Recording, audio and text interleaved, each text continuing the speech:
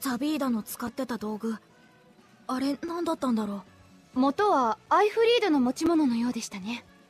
あんな道具も精霊術も見たことがないわ。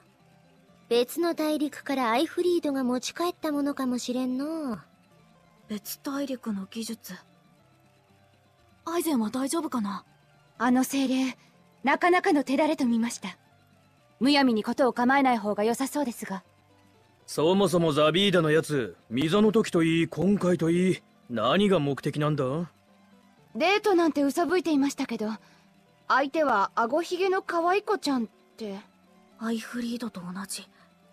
ベンウィックが言ってたんだ。アイフリードはあごひげの人だって。そうか。樹林で聞いた手配精霊ってのはザビーダだな。清涼は奴を探しているザビーダはそのことに気づいてる。その上でアイフリードの存在を匂わせてアイゼンが追ってくるように仕向けた。アイゼンもそれを読んだ上で追った。ただじゃ済まないかもなこいつは。